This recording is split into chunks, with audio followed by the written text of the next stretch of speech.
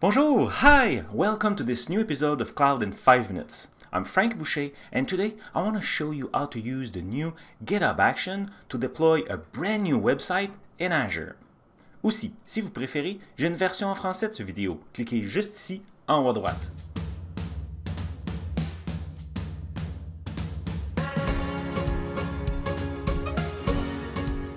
So you heard about those new GitHub action, and since you're just starting a new project, you would like to use it for building a CI/CD and deploying your website in Azure. That's the video you need to get started. So I will be using .NET Core because I'm comfortable with C Sharp, but you can do it with Node and many other framework as long as the code is in GitHub. To get started, let's create that website. In .NET, it's very simple. .NET New, Blazor server. Of course, I will be using Blazor. I will create the uh, the application in a subfolder, so that's perfect for me. And you know what? I will also add a gitignore file because I completely forgot. So add gitignore. I will use the where is it? VS Code. Where is it? Visual Studio Code, perfect. So now I have my gitignore file.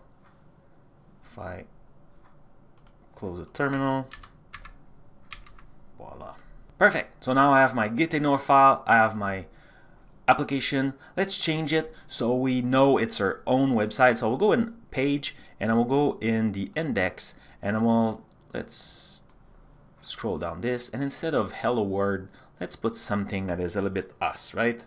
So we'll do bonjour, hi, cloudies. Excellent. So I save, and now I'm ready to push. Great. So I just pushed it in GitHub, so let's have a look. So we go in Git, and now I have it, it's my code. So now what I want to do is go in action here, and now you could start with a template, or you could build your own. To get started, I have two links just prepare for you. So the first one is bit.ly slash webapps dash deploy. That's the documentation from GitHub. It will get you the template, so we'll get more into that. And the second link I prepare is more the instruction, the step-by-step -step from the documentation in Microsoft website. So it's bit.ly slash action dash web app. Okay, so all the link will be anyway in the description down below. So what I need right now is take this .NET YAML file and we'll use it in our solution.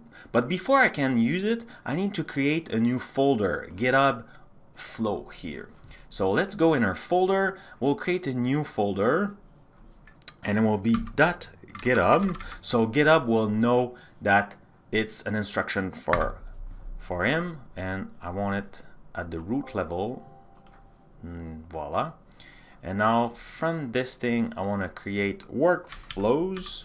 So work flows just like this. And now I will be able to create a new file. So new file, and I could say azure.yaml. And now I can copy paste the template I need. For me right now, .NET is a good starter start point. So we'll let's start from there and we'll see what we need to change. So let's have a look and then we'll see because we cannot really use that one exactly. So the template here, it's very simple. It's specified that on a push or a pull request that that action will be triggered. And then we have one job. So we'll build and deploy, that's the name of our action, and it will run on the latest version of Ubuntu. Now we have a bunch of steps. So the first one will be to check out the code from the branch master. So that's pretty cool from there. And now what we need is set up .NET Core because right now we're just created a new instance of Ubuntu. There's nothing. If you have Node, you need to install Node, you install Node. I need .NET Core, so for that it's just action setup.net and I specify the version. So right now it's version 2.2. I think my version is more required 3, so I will need to change that. I will change everything after I explain.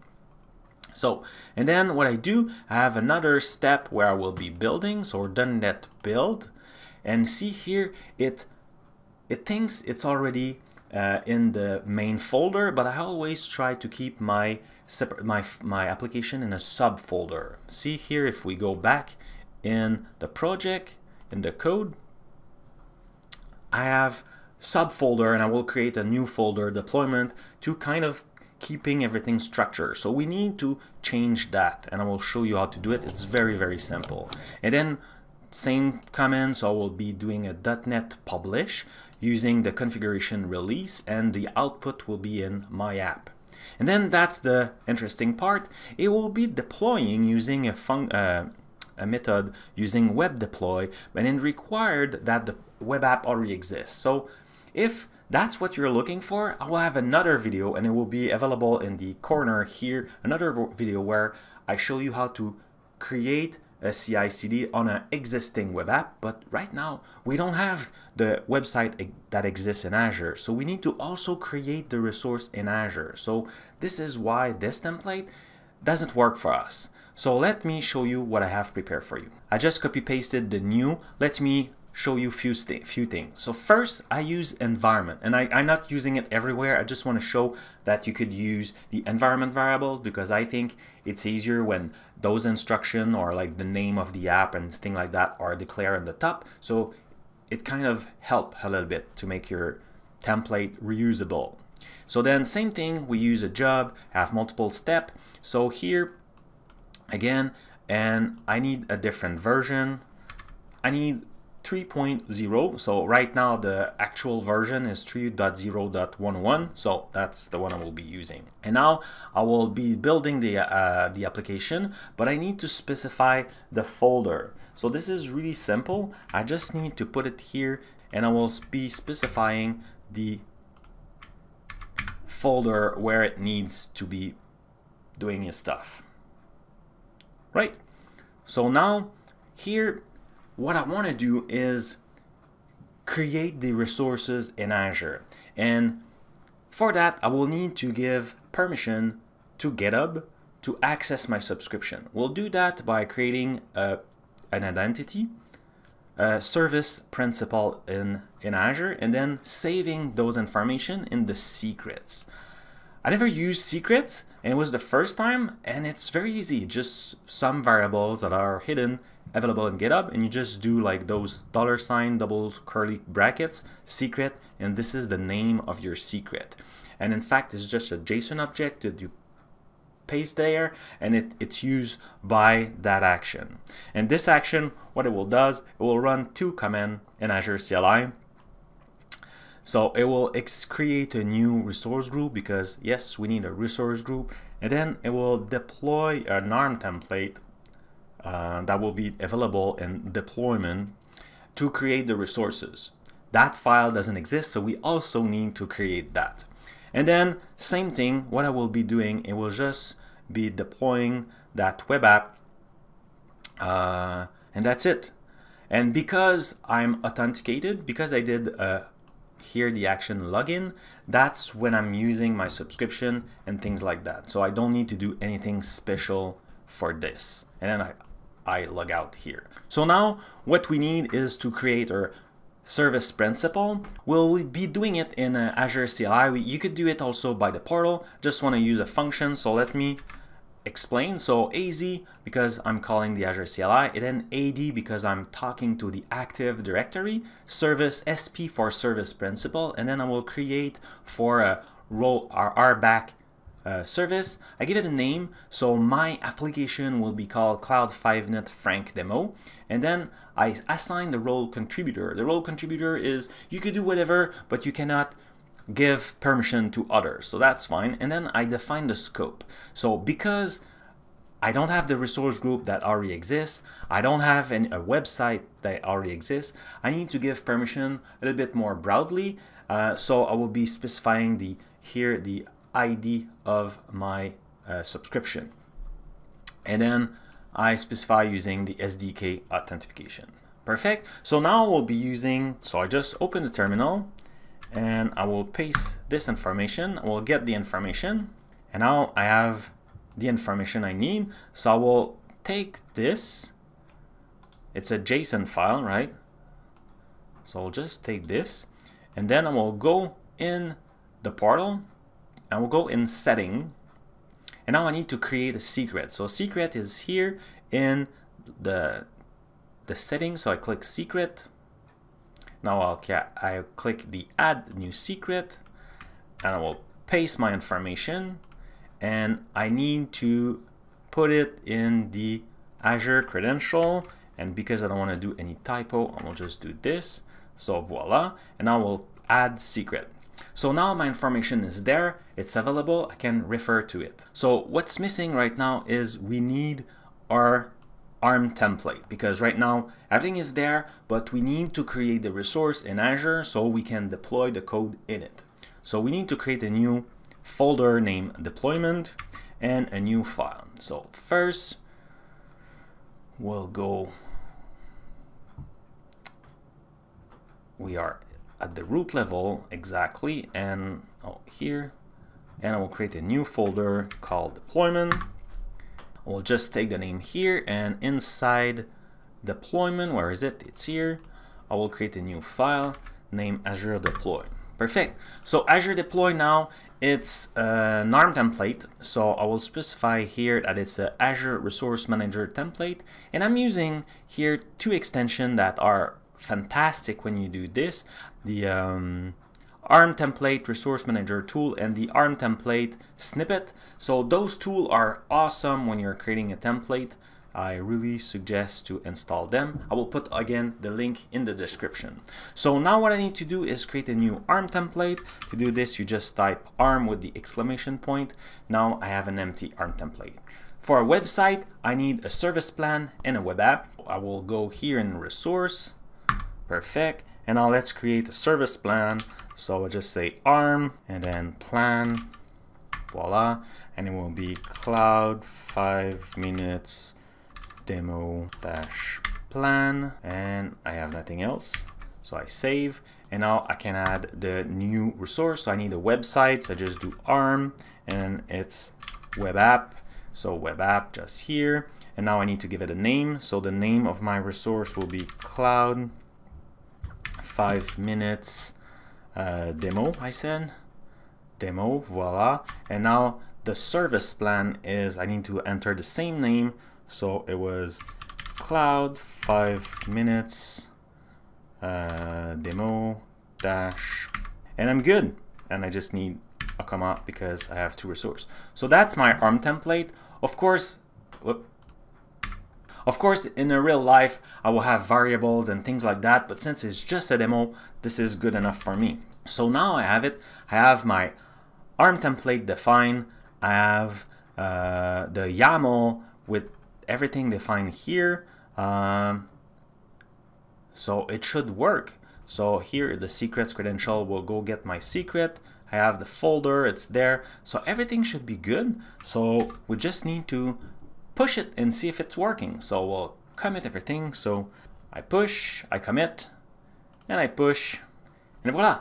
Now to see what's happening, we go in GitHub. There it is. And if I click now on action, I should see my action that get triggered, it's running, and then we'll look at it. So once it will be done, we'll get back to you and we'll look uh, what happened.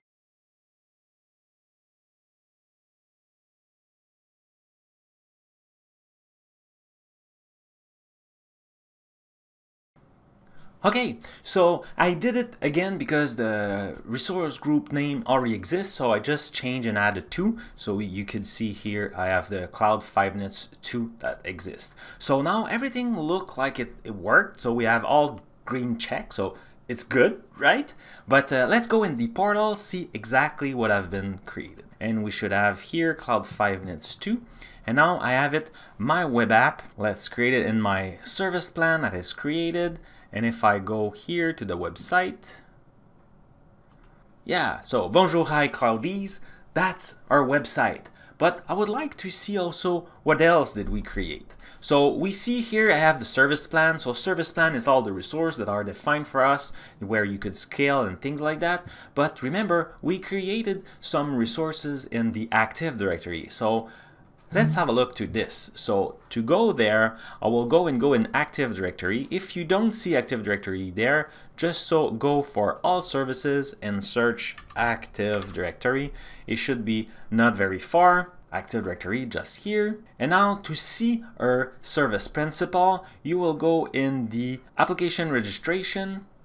And if I type the name of application, I have it here, the GitHub with the application ID. And if I click on that, we'll have all the information. So I have all the role and permission, and here I have all the stuff.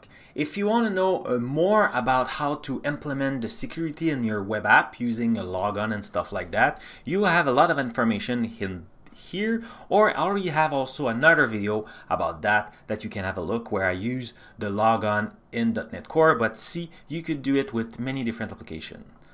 So that's pretty cool. So now we have it and every time we'll be doing a check-in, the application will be compiled and redeploy in Azure using our GitHub function action. So I have uh, more and more questions in the comment section, so I decided to answer a few questions live on stream, so feel free to add more if you want to see your questions. So here I have, uh, oh yeah, that one was interesting.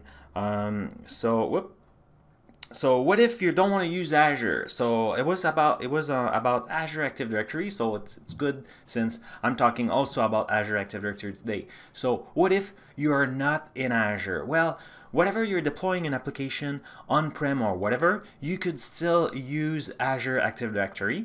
If you're on-prem and you don't want to use Active Directory, you could use any AD. Doesn't need to be Azure Active Directory, or you could use UT or any kind of social media. So there's plenty of solution with .NET for authentication or in Azure, different kind of things. So another one is in this video where I was talking how to search like a boss. So I had someone from the Graph saying that my video is wonderful. Thank you. And also someone who, uh, where is it? Oh, there's the new Graph Explorer that exists. Thank you. It's true. I completely forgot. So I like you when guys, you get me back on track. So thank you, thank you a lot, Umeshmi. So a last comment from, um, I'm getting old.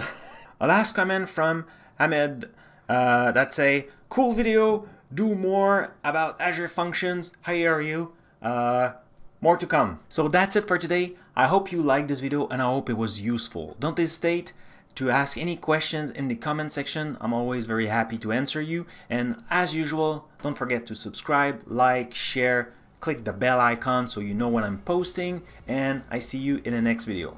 Thank you for watching.